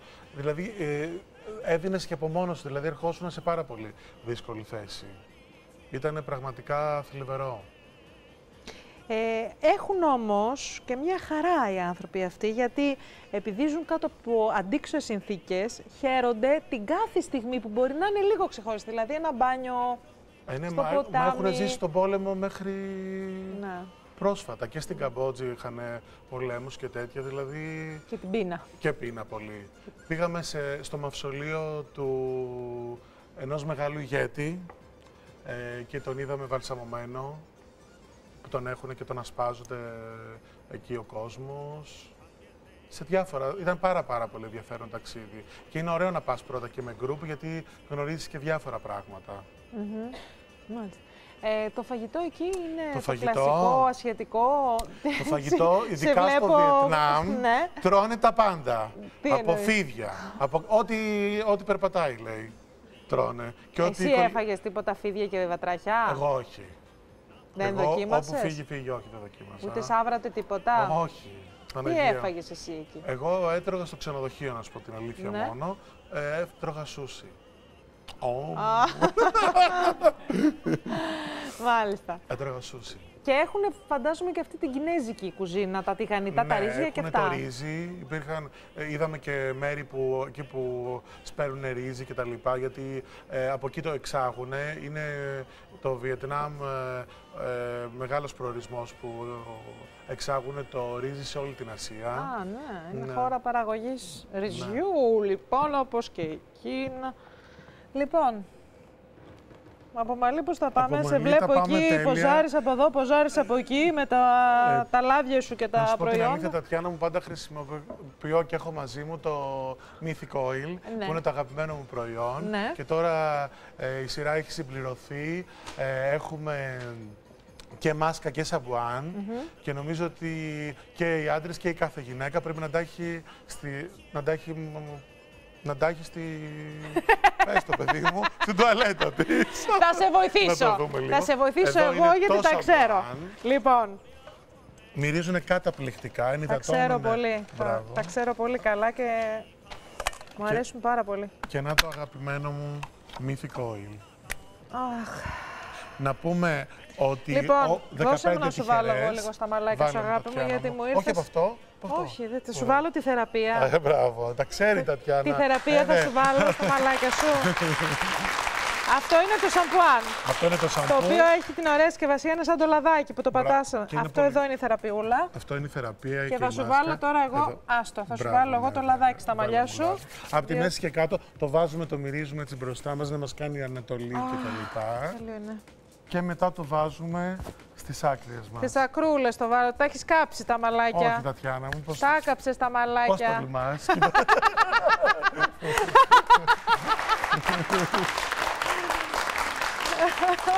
πρωί βράδυ, πρωί βράδυ το μυθικό Πρωί είναι βράδυ. πάνω στο μαλλί χρειάζεσαι. Εγώ να σου πω την αλήθεια. Άμα αλλάζεις χρώμα, κάτι και λίγο κύριε Τριφωνάκο, ε, με ναι, αυτά που σίγουρα. λες στι κυρίες να τα κάνεις και στα μαλλιά σου. Ε, ναι, σίγουρα. Και να σου Λοιπόν. πω και το βάζω και σε βρεγμένο μαλλί και το αφήνω και στεγνώνει και ξαναβάζω για να γίνεται και πιο φυσική η μπούκλα. Φυσική μπουκιά. Κατάλαβε. Ναι, Ε, ναι.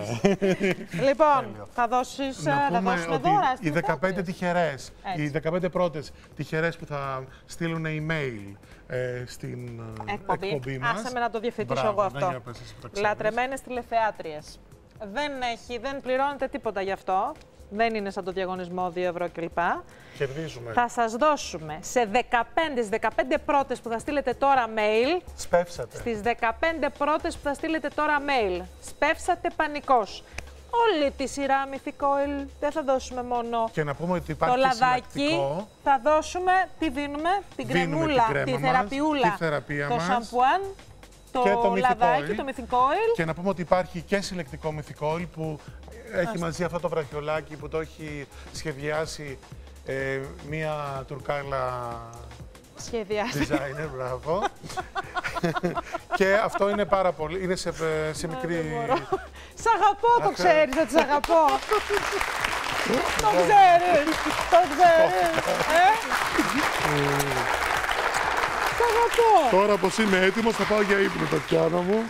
Καταλαβαίνεις. Σ' αγαπώ πολύ, Ευχαριστώ όπως τα πολύ. λες, όπως αυτό, ό,τι, τον τρόπο που έχεις, να τα δείχνεις, να τα κάνεις, Ναι. το χαμογελάκι σου, πώς κατεβαίνεις στη σκαλίτσα, το ρουχάκι, ε, Το καπελάκι ε, μου. ε, το καπελάκι σου, όλα, όλα, σ' αγαπώ πολύ. Εγώ σ' αγαπώ Τριφωνάκο, πολύ και ευχαριστώ ευχαριστώ πάρα πάρα πολύ. πολύ. Ευχαριστούμε και οι τηλεθεάτριες, ευχαριστούμε για τα δώρα. Και εγώ λέω το διαγωνισμό και σε λίγο Ντίνα Νικολάου θα ψήσουμε στο μπάρμπεκιου να σας πούμε μυστικά γιατί εμένα οι μπριζόλες μου γίνονται σκληρές. Και Μπράβο. λέω, και ε, εμένα και δεν μ' αρέσουν σένα. σκληρές μπριζόλες, βρε παιδί μου. Στο μπα- Θέλω να είναι μαλακό, να λιώνει το κρέας. Στο μπάρμπεκιου έχεις πετύχει μπριζόλα μαλακιά; Δεν έχω μαγειρέψει ποτέ. Λοιπόν. Η Ντίνα Νικολάου θα μας πει πώς θα κάνουμε τις μπριζόλες μαλακές στο μπάρμπεκι, όσο για το κοτοπουλάκι. Έχω μία μαρινάτα, όχι εγώ, τον τινάκι, πεθαίνω. Σε λίγο, σε λίγο. Να γλύψεις τα δάχτυλά έλα σου. εδώ να σου Ε. δείξω και τα δώρα Α, των και τι ωραία τηλεθεατών. πιάτα είναι Κάτσε αυτά, και εδώ. τι ωραία σερβίς. Κάτσε εδώ στο τραπέζι Και να σου εδώ δείξω. βλέπω. Καλά, Α. το ντεκόρ μας. Κάτσε κάτω. Ένα. λοιπόν, εδώ λοιπόν, Μάλιστα. όλα αυτά είναι δώρα για τους τηλεθεατές. Α, Είναι όλο το σερβίτσιο από το Παπαδάτος Home, πιάτα, μαχαιροπύρουνα, ποτήρια, όλα αυτά, τα οποία τα έχω δείξει Φωλίτσα. επανειλημμένως. ναι. Ναι. Και το λατρεμένο μου μπάρμπεκιου. Το καλά. λατρεμένο μου που το έχω στο σπίτι Αυτό μου, είναι όλα τα και δεν το λεφτά. αποχωρίζομαι. Που δεν κάνεις τίποτα Τρυφωνάκο. Ναι. Ανοίγεις μόνο το γκάζι. Α, είναι για μένα αυτό. Ναι. Μπράβο. Τρύφωνα δεν χρειάζεται να κάνεις τίποτα. δεν Παίρνεις χρειάζεται μπριζόλες να ξέρει να έτοιμες. ψήνεις. Τι κάνεις, ανοίγεις τον γκάζι και γυρνάς, το βλέπεις αυτό το κουμπάκι. Ναι, ναι, ναι. Κάνεις ένα έτσι και άναψε, βρε. Και ψήνατε. Τίποτα. Τα βάζεις εδώ ούτε να ξέρεις να ψήνεις. Και πότε τις χρειάζεται. βγάζεις; Άμα δεις λίγο το χρώμα, Μπράβο. Το βγάζεις. Και έχουν ψηθεί μέσα. Ναι, Μπράβο. έχουν ψηθεί. 90, 11, 51, 51, 51 και 10.000 ευρώ μετρητά. Και 90, 11, 51, 51, 51. 10.000 εδω- ευρώ μετρητά. Κληρώνουν την Παρασκευή. Μπαίνετε σε δύο διαγωνισμούς. Διεκδικείτε και το θεϊκό μπάρμπεκιου και όλο το σερβίτσιο το πασχαλινό από το Παπαδάτος Home Stores. Τι άλλο θέλετε. Καλή επιτυχία. Διαφημίσεις.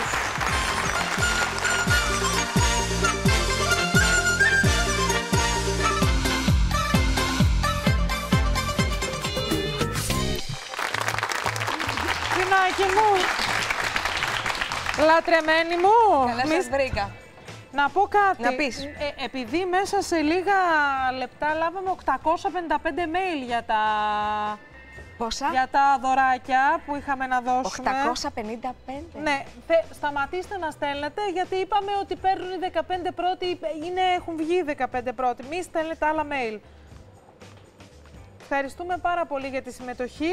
Θα σας ανακοινώσουμε πω, πω, τι είναι.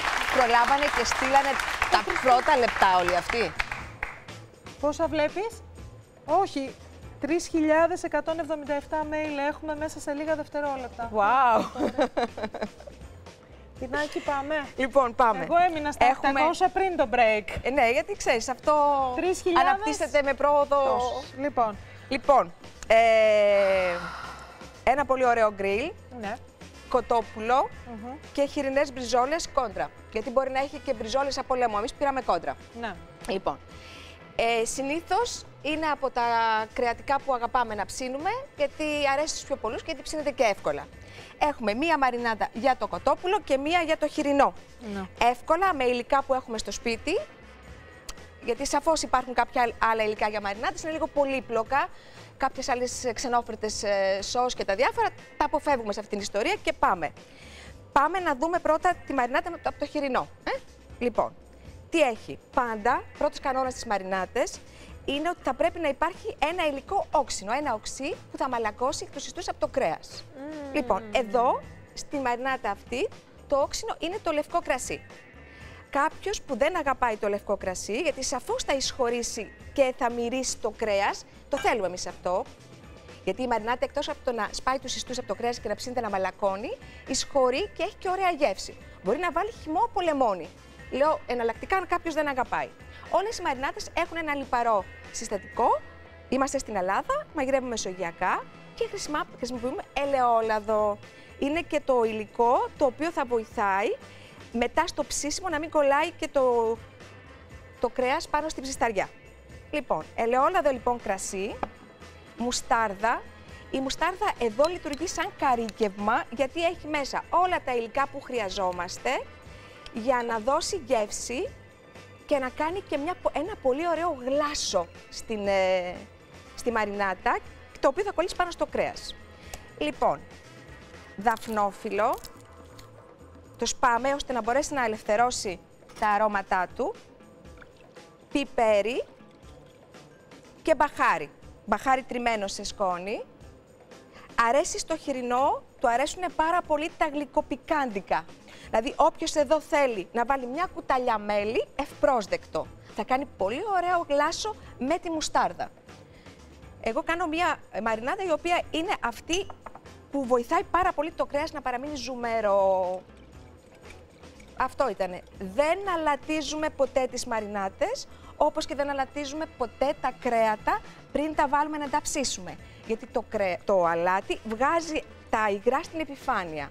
Όταν τα, επιφάνεια... τα υγρά βγουν στην επιφάνεια θα στεγνώσουν αμέσως και θα στεγνώσει το κρέας. Αυτό είναι ένα μαγικό υλικό που εμένα πολύ μ' αρέσει, το ξέρεις εσύ. Είναι σκορδόκρεμα. Είναι σκόρδο το οποίο το ψήνω στο φούρνο ή το βράζω και το έχω πάντα έτοιμο στο ψυγείο. Είναι τέλειο. Το συστήνω και αυτόματα στη μαρινάτα και σε οποιοδήποτε άλλη σάλτσα, σε βινεγκρέτ, κοτόπουλο με πατάτες στο φούρνο. Εδώ ένα κουταλάκι.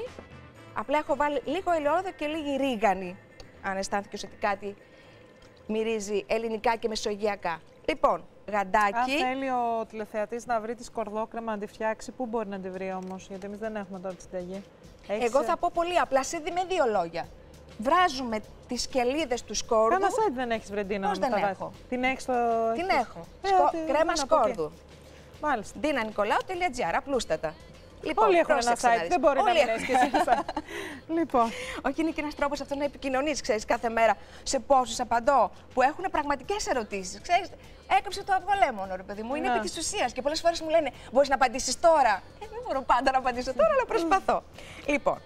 Ε, Σαφώς έχετε ακούσει πολλές φορές για τις μπριζόλες. Χτυπάμε, κάνουμε, φτιάχνουμε. Όταν είναι τόσο λεπτά, ωραία κομμένη η μπριζόλα. Δεν χρειάζεται να είναι ταλαιπωρείς, γιατί καμιά φορά είναι και λίγο επικίνδυνο αυτό το χτυπάω, ας πούμε, και ανοίγει το κρέας, γιατί στεγνώνει. Τι κάνουμε όμως, μαρινάρουμε. Βάζουμε δηλαδή. Εδώ μας έπεσε λίγο μεγάλο το. αλλά Ο στόχος ποιο είναι; Ο στόχος είναι ότι θα πρέπει να είναι το κρεατάκι μέσα στη μαρινάτα και αυτό φυσικά δεν γίνεται μέσα σε 5 λεπτά. Μμμ. Η μαρινάτα για να εισχωρήσει και να κάνει το διπλό ρόλο, που ο διπλός ρόλος είναι να μαλακώσει και να αρωματίσει, χρειάζεται μία ώρα. Ωραία. Μάλιστα. Αυτή η μία ώρα όμως, είτε έχει κρύο, είτε έχει ζέστη, δεν το κάνεις, το αφήνεις και το αφήνεις στην κουζίνα σου, το σκεπάζεις με πλαστική μεμβράνη και το βάζεις στο ψυγείο. μάλιστα. Πάντα μαρινάρουμε τα υλικά μας στο ψυγείο, για να μην δημιουργηθούν διάφορα μικροοργανισμοί και κινδυνεύουμε. Λοιπόν, το αφήνουμε δύο λεπτά αυτό να μαριναριστεί ή το βάζω κατευθείαν να αρχίσει να ψήνει γιατί θέλει να και πιο αρχίσει πολύ να ώρα. ψήνεται και να μου πεις και τα μυστικά της μπριζόλας, γιατί ό- όλα τα κρέατα τα ψήνω είναι μια χαρά. Ναι. Η μπριζόλα μου βγαίνει σκληρή. Λοιπόν, η αλήθεια είναι ότι ειδικά στο χοιρινό, και το ξέρουν οι φίλοι οι οποίοι τους αρέσει να ψήνουν χοιρινό, ο, ψήνεται καλύτερα, δηλαδή βγαίνει πιο ζουμερή η μπριζόλα λαιμού που λέμε, γιατί έχει πιο πολύ λιπάκι. Το λιπάκι βοηθάει, Ναι. γιατί δίνει την απαραίτητη υγρασία στο κρέας για να μαλακώσει. Αλλά το μεγάλο κόλπο είναι να έχει μαριναριστεί πριν. Και να θυμούνται πολύ καλά ότι εκτός από τα αρωματικά στοιχεία της μαρινάτας, πάντα οφείλουμε να έχουμε ένα οξύ. Είτε λεμονάκι, είτε κρασάκι, είτε και ξύδι. Είτε και ξύδι. Πολλές φορές πολλοί μαρινάρουν χοιρινό σε ξύδι. Σε ξύδι Έχει- είναι βαλσαμικό. πιο έντονο. Όχι, όχι. Ένα, Όχι λε- σε λε- ένα βαλσαμικό. λευκό κανονικό ξύδι ή μιλόξιδο, που είναι πολύ πιο μαλακό. Λοιπόν, παίρνουμε, έχει περάσει τώρα η μία ώρα, Ναι. που είναι ας πούμε, το μίνιμουμ για τις μαρινάτες. Παίρνουμε το, το κρέας. Να πούμε ότι έχουμε φέρει εμείς αυτό εδώ που είναι ηλεκτρικό το barbecue γιατί του, το υγραερίου δεν έκανε να το ανάψουμε μέσα στο στούντιο. Είναι και των τηλεθεατών. Μην το πάρετε χρησιμοποιημένο. Λοιπόν, αυτό είναι καταπληκτικό, να σου πω γιατί μου αρέσει που τρομερά αυτό το γκριλ. Γιατί έχει αιστείες που είναι κάτω μαντεμένες. Το μαντέμι θα έρθει, έχει πυρακτωθεί. Όσο πιο, πιο πολύ το υλικό μπορεί να κρατήσει θερμοκρασία, τόσο πιο ωραία θα ψηθούν. Διαφορετικά, όταν η θερμοκρασία είναι χαμηλή, θέλει δυνατή θερμοκρασία και το κοτόπουλο και το χοιρινό μας σήμερα. Ταλαιπωρείς στο κρέας. Και κάτι που έχουμε να πούμε τώρα, θα βάλω και την άλλη, Ωραία. Κάτι που έχουμε να πούμε είναι ότι αν φοβόμαστε ότι θα κολλήσει, κάνουμε α- μια στιγμή αυτό. Δηλαδή με την υγρασία, με το, τη λιπαρή ουσία που έχει η μπριζόλα, το κουνάμε λίγο. Το ξεχνάμε όμως. Δεν αρχίζουμε και παίρνουμε τη λαβίδα και στεκόμαστε από πάνω και στα 2-3 λεπτά το γυρίσουμε. Εγώ το κάνω Φυσικά. αυτό. Έχει κολλήσει Το τα γυρνάω πιάνα. συνέχεια. Όχι, εδώ θα δείξεις υπομονή. Εδώ θέλουμε 10 λεπτά με 12 από τη μία πλευρά και το γυρίζεις μία φορά. Στο Και τη φω- μαντέμι. Τη φωτιά δηλαδή σε- στο πόσο την έχουμε; Κοίταξε Ε, να δεις, βάζεις εγώ υψηλή εδώ φωτιά; είμαι, σ- είμαι σχεδόν, ναι, είμαι σχεδόν στο maximum. Δεν είμαι Άρα τέρμα. βάζεις ας πούμε στο barbecue ψηλά τη φωτιά, Ψηλά τη δυνατά φωτιά, τη φωτιά. έχει ζεσταθεί, έχει πυρακτωθεί, ειδικά εδώ που είναι μαντέμι. Να είναι πολύ καλά Να είναι ζεσταμένο. καλά ζεσταμένο. Το βάζεις, τα αφήνεις, δεν το πειράζεις Δεν για το 10 πειράζεις, λεπτά. όχι. Το Και μόνο άμα που θα καεί, κάνει. Δεν θα καεί. Δεν θα καεί. Έχει μου εμπιστοσύνη. Άμα καεί, δεν θα καεί. Ναι. Εδώ τώρα, καλά, εδώ α, αυτό το γκριλ έχει ενδιαφέρον γιατί κλείνεις το καπάκι. Ναι. Και σφαιρικά η θερμοκρασία έρχεται και δημιουργεί, κρατάει την υγρασία πάνω η μπριζόλα. Α, Γιατί- Να το κλείνω δηλαδή το Ε, ναι. καπάκι. Μα αυτή Γιατί είναι εγώ η- έχω αυτό που έχουν την Θα που το δώσω στους κλείνεις. τηλεθεατές. Γιατί η μαγιά είναι αυτή. Πρόσεξε να δεις. Όταν το κλείσει το καπάκι, κρατάει τη θερμοκρασία μέσα και έρχεται στο πάνω μέρος, θα το δεις όταν το ανοίξεις το δεκάλεπτο. Ναι. Γιατί σε 10 λεπτά θα κάνεις διάφορα πράγματα. Θα δεις, θα έχει κρατηθεί όλη η υγρασία στο πάνω μέρος της μπριζόλας. Αυτό είναι που θέλουμε.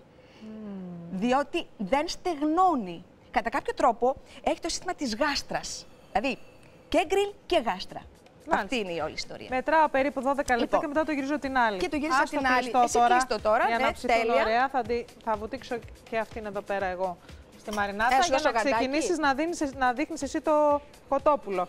Και Ωραία. την ώρα που και μέχρι να ξεκινήσεις, να πω εγώ το διαγωνισμό γιατί θα τελειώσει σε λίγο και δεν θα προλάβω, να πω ότι έχω φροντίσει ένας νικητής σήμερα να κάνει Πάσχα ακόμη και αν δεν φύγει από την Αθήνα που πολλοί από εσάς μπορεί να μην έχετε την οικονομική δυνατότητα αν δεν έχετε κανένα σπιτάκι, κανένα συγγενή στο χωριό. Έχω φροντίσει στο μπαλκόνι σας να κάνετε Πάσχα βασιλικό.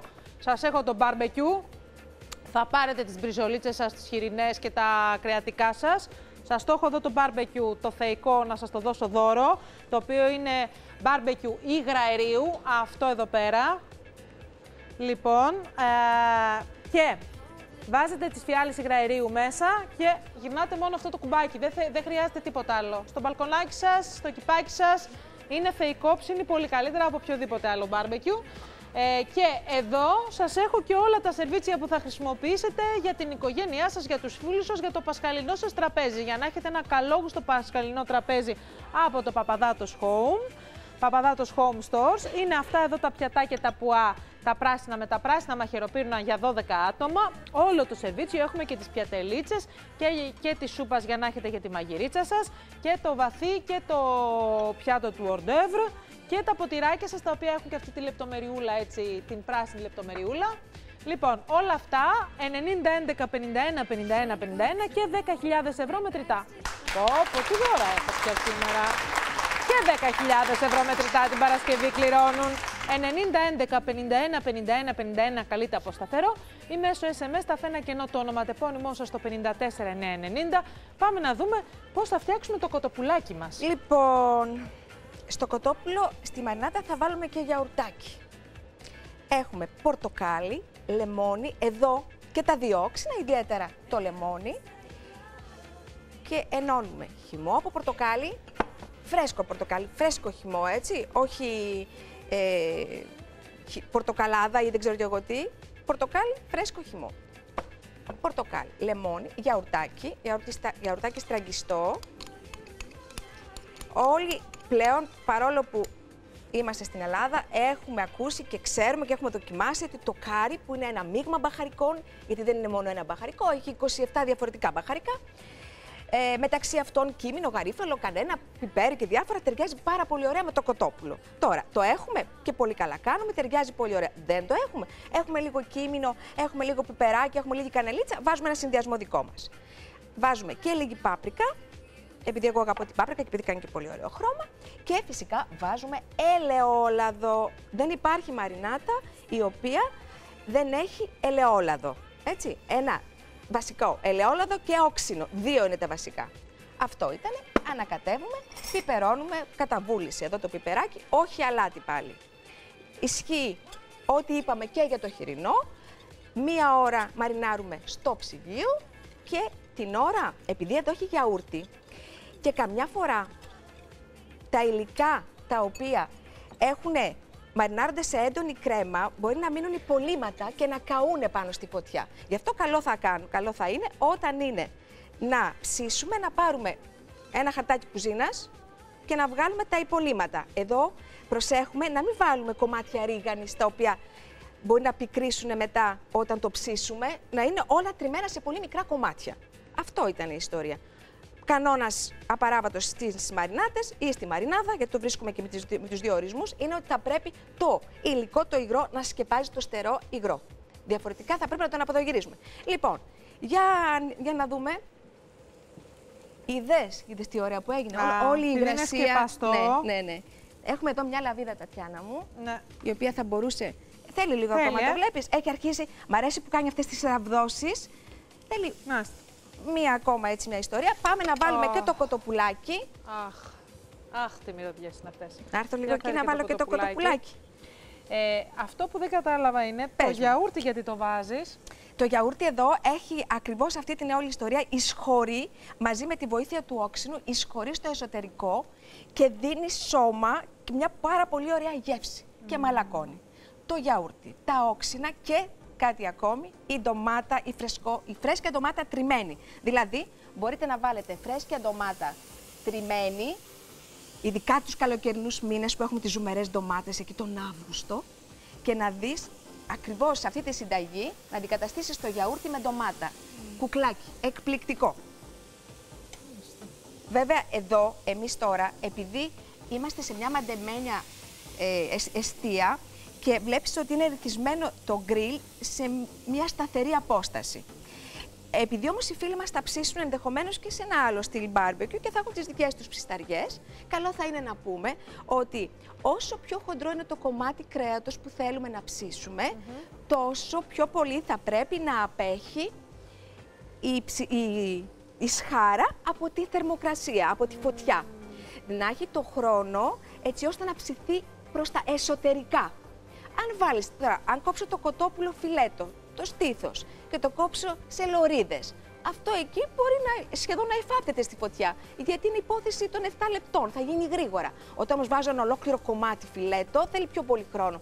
Όσο λοιπόν πιο χοντρό είναι το κομμάτι που θέλω να ψήσω, τόσο πιο πολύ απέχω από τη φωτιά. Άρα, Εδώ όμως σε αυτά είμαστε σε εδώ μια που σταθερή είναι θερμοκρασία. σε μια ρυθμιζόμενες σταθερή. οι θερμοκρασίες και εκεί και εδώ και το ρυθμίσει όπως στην κουζίνα σου. Ναι. Αν έχουμε ένα- μια τέτοια συσκευή, τι κάνουμε, το βάζουμε στην αρχή πιο σιγά Πιο τη δι- φωτιά. Στην αρχή εδώ θα το βάλουμε πιο δυνατά, για να Δυνατά. κάνει την κρούστα. Και μετά το χαμηλώνουμε. Ε, και μετά το χαμηλώνουμε σιγά σιγά. Ειδικά έχουμε βέβαια την ευκολία του, με το καπάκι εδώ, αυτή την ιστορία που κάνει Ναι. στυλ γάστρας. Οπότε είμαστε σίγουροι πως όλα θα πάνε όπως πρέπει. Είδες που αρχίζει σιγά σιγά; Αυτό είναι. Πρέπει να κάνει δηλαδή τις... έχει κολλήσει λίγο. Όχι, δεν Πρέπει έχει να κολλήσει. κάνει δηλαδή τις γραμμούλες Αυτό η είναι, ναι. μπριζόλα, ε. Αυτό είναι. Σούπερ. Α. Α. Έχει σπάσει η μύτη του. Το θέμα στου. είναι ότι έχει μυρίσει, έτσι. Αν έχει μυρίσει, λέει.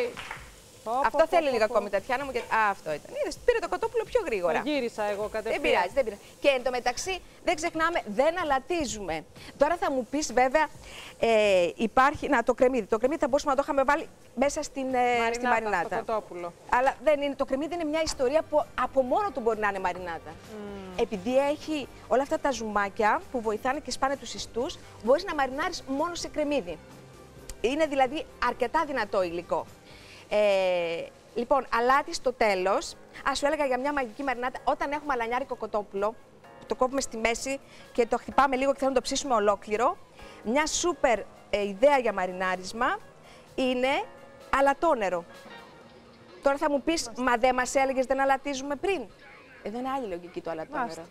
Λοιπόν, ε, επειδή σε λίγο κλείνει ο διαγωνισμός, να πούμε ότι αν θέλετε να κάνετε ένα τέτοιο μπάρμπεκι όπως κάναμε εμείς για το Πάσχα και να τα έχετε όλα έτοιμα, να έχετε δηλαδή το μεγάλο, αυτό εδώ το δίνουμε δώρο, το μεγάλο το μπάρμπεκι του υγραερίου. Είναι το ένα δώρο και όλο το σετ με το όλο το σερβίτσιο ε, για το πασχαλινό σας τραπέζι από το Παπαδάκο- Παπαδάτος Home. Συν να μπείτε σε ένα διαγωνισμό για 10.000 ευρώ, δεν έχετε παρά να κάνετε ένα τηλεφώνημα ή να στείλετε ένα μήνυμα 9011 51 51 51 ή μέσω SMS. Τάφε ένα κενό, το όνομα τεπώνυμό σας στο 54 990. Σε λίγα λεπτά γίνεται η κλήρωση και σε πολύ λίγα λεπτά θα μάθετε αν κερδίσατε ε, το μεγάλο δώρο το σημερινό. Να σας πω δε... Λοιπόν, ε, παρόλο που παρακάλεσα να σταματήσετε να στέλνετε mail, ε, έχουν φτα... για το δωράκι του Τρίφωνα έχουμε φτάσει στα 5.500 mail. Μην στέλνετε άλλο, γιατί είπαμε ότι 12, 15 μόνο θα πάρετε, οι 15 πρώτοι. Ε, θα πρέπει να τα δείξω εδώ, στο, να δείξω τα πρώτα ονόματα για να είναι σαφές ότι ο διαγωνισμός μας είναι σωστός. Θα σας τα δείξω μετά τις... Ε, για να δω ποια είναι η πρώτη εδώ. Νάτσι. Αυτή είναι η πρώτη. Η κυρία Γιώτα Γιώτα. Τι είναι, Γιώτα Γιώτα είναι. 4 και 38. Πρόλαβε να στείλει η πρώτη. Ή όχι. Θα δω. Πάμε σε διαφημίσεις.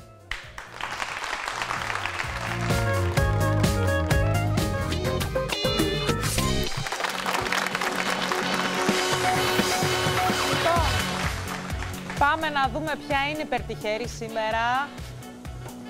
Που τι να σας πω, αν δεν το είχα πάρει θα ζήλευα πάρα πολύ. Ποια είναι η υπερτυχερή για το μπάρμπεκιου. Λοιπόν, η Μαρία Σωτηροπούλου, πείτε μου περιοχή που είναι η Μαρία, από την Αθήνα. Λοιπόν, Μαρία Σωτηροπούλου, έχεις κερδίσει το τεράστιο μπάρμπεκιου υγραερίου και όλο το σερβίτσιο από το Παπαδάτος Home. Εσύ είσαι η νικήτρια, αν δεν αν δεν φύγεις το Πάσχα, που σου εύχομαι να φύγεις, θα έχεις ένα πολύ ωραίο Πάσχα, αν σου κάνει ωραίο καιρό, στο μπαλκόνι σου ή στον κήπο σου με το μπάρμπεκιου και το σερβίτσιο σου. Αυτό. Λοιπόν, να ευχαριστήσω πάρα πολύ την Τίνα την Νικολάου. Κάτι προλάβαμε, κάτι δείξαμε. Κάτι έγινε. Να πω και για τα μεϊλάκια, τα μεϊλάκια του κοινού, τα δωράκια, τα, το δώρο του Τρίφωνα Σαμαρά. Λοιπόν, μπορούμε να δείξουμε το iPad μου; Ε, μπορούμε να δείξουμε το iPad μου; Εδώ. Εδώ είναι η πρώτη. Φαίνεται; Για πάλεψε το. Φαίνεται; Αυτή εδώ είναι η πρώτη. Γιώτα γιώτα. Μην τη δείξεις πολύ κοντά γιατί φαίνονται και τα τηλέφωνα. Αυτό. Λοιπόν, θα δείχνω τα mail για να καταλάβετε ότι υπάρχει μια σειρά. Ε, θα τα διαβάσω τώρα τα mail. Αύριο. Θα τους... Αύριο. Ωραία. Λοιπόν, 4 και 38 είναι το πρώτο mail που λάβαμε. 4 και 38 είναι 1, 2, 3, 4, 5, 6, 7, 8, 9, 10, 11, 12, 13, 14, 15 και έχει κι άλλα μετά. Μάλιστα. Λοιπόν, ευχαριστούμε πάρα πολύ. Να είστε καλά. Ευχαριστούμε τον Τινάκη μας, Δίνα Νικολάου, για τις συμβουλές. Καλό απόγευμα.